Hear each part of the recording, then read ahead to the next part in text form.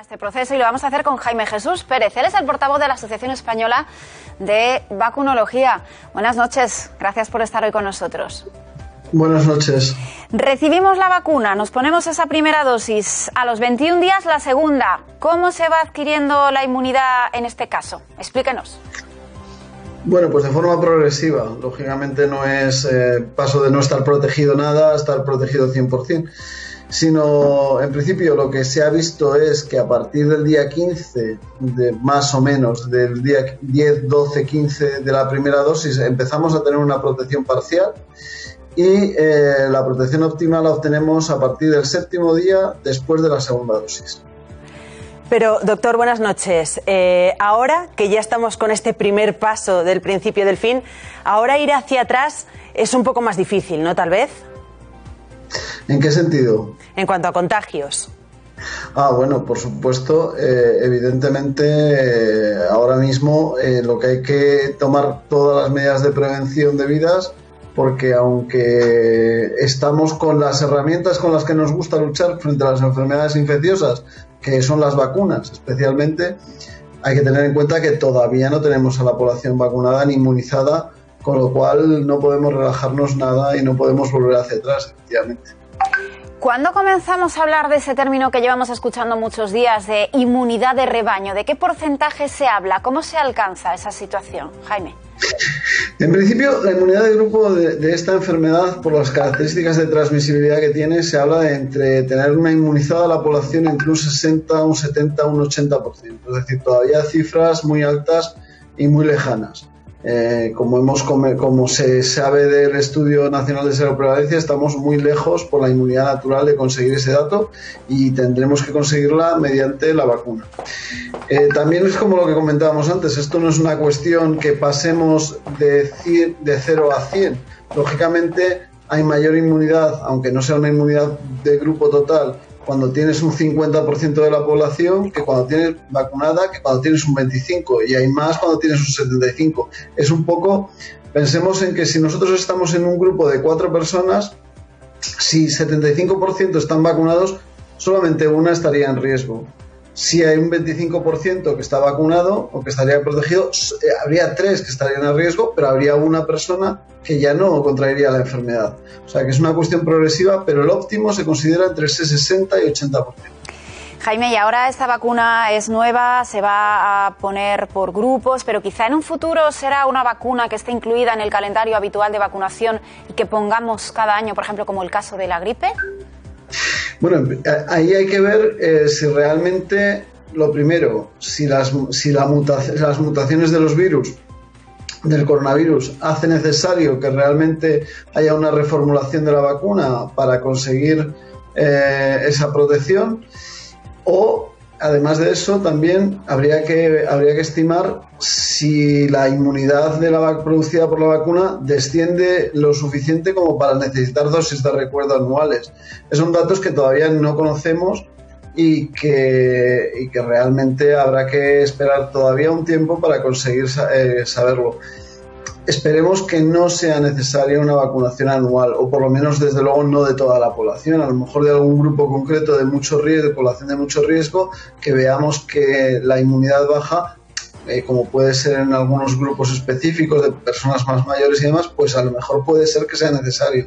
Pero hay que ser optimista y esperar eh, que tener datos de cuánto va a durar la protección, que eso ahora mismo todavía no lo sabemos esperemos que no haga falta una dosis anual. Esperemos. Pues esperemos, esperemos. Jaime, ¿me vas a permitir un momento que sigamos poniendo rostro a esas primeras personas que se vacunaban en nuestro país en esa vacunación que comenzaba ayer? María Ruiz.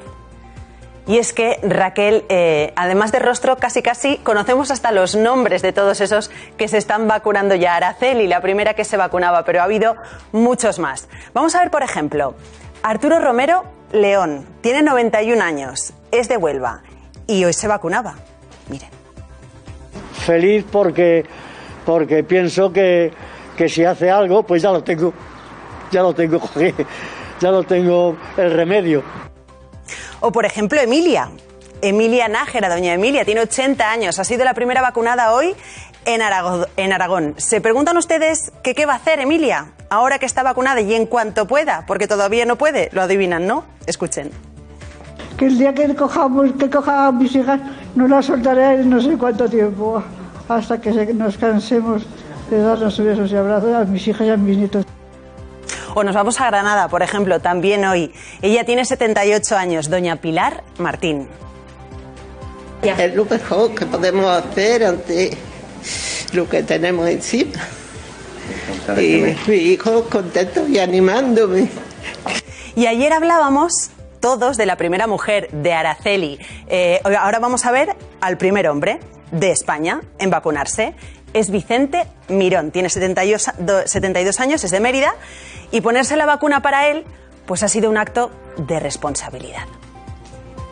Esperemos que esta vacuna sirva para derrotar a este enemigo, pero es compromiso de todos.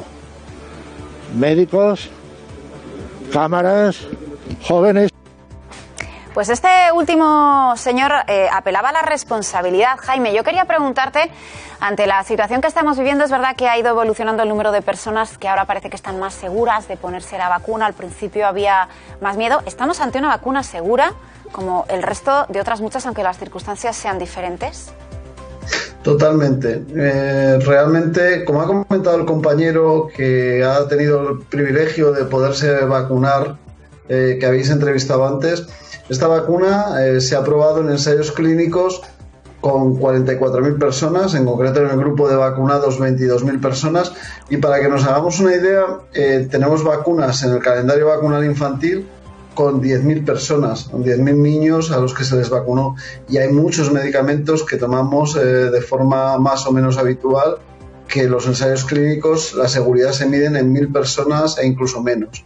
Es decir, las vacunas son medicamentos muy seguros porque hay que tener en cuenta que se administran a personas sanas y la seguridad es un componente fundamental de las vacunas. Esa es una cosa que jamás puede estar eh, en, en posible duda porque las agencias regulatorias controlan muy bien el tema de la vacunación y la seguridad. Y además Ahora mismo ya llevamos, o sea, estamos hablando de ese 44.000 personas en los ensayos clínicos, pero es que ya llevamos prácticamente 2 millones de personas vacunadas eh, con estas vacunas, con la vacuna de Pfizer en concreto, entre Estados Unidos, Reino Unido y algún país más que ha empezado la vacunación y de momento lo único que se ha visto en algún caso raro es eh, alguna reacción alérgica eh, de las que hemos tenido noticias. Las vacunas, su seguridad se mide antes, durante y después de todo el proceso y tengamos en cuenta que cualquier cosa que pudiera tener efectos adversos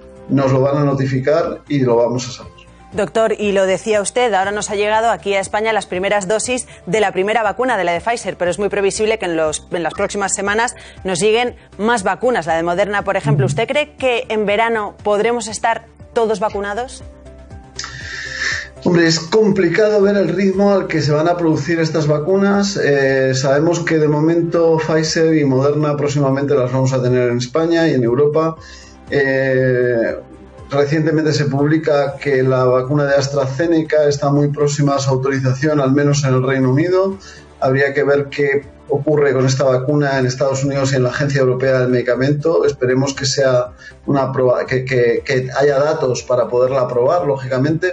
Y eso sería un dato muy positivo porque sería una tercera vacuna de la que sabemos que hay muchas dosis ya fabricadas y que estarían disponibles. Otra vacuna posible dentro de relativamente poco tiempo, dos meses probablemente sea la vacuna de Janssen, la vacuna de Johnson Johnson.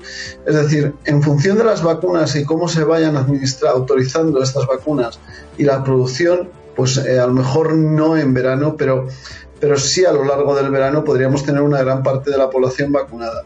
Y siempre teniendo en cuenta que aunque no tengamos un 70, ese 70, ese 80%, pero si conseguimos tener a todos nuestros mayores vacunados, a toda nuestra población mayor de 70 años, por ejemplo, habremos dado un salto de gigante para el control de esta enfermedad y para que el sufrimiento que nos está causando deje de causarnos. Eso es lo más importante. Tener primero aquellas personas que son las que más están sufriendo con esta enfermedad. Pues Jaime Jesús Pérez, el portavoz de la Asociación Española de Vacunación, gracias por explicarnos lo que tenemos ahora sobre la mesa. Buenas noches.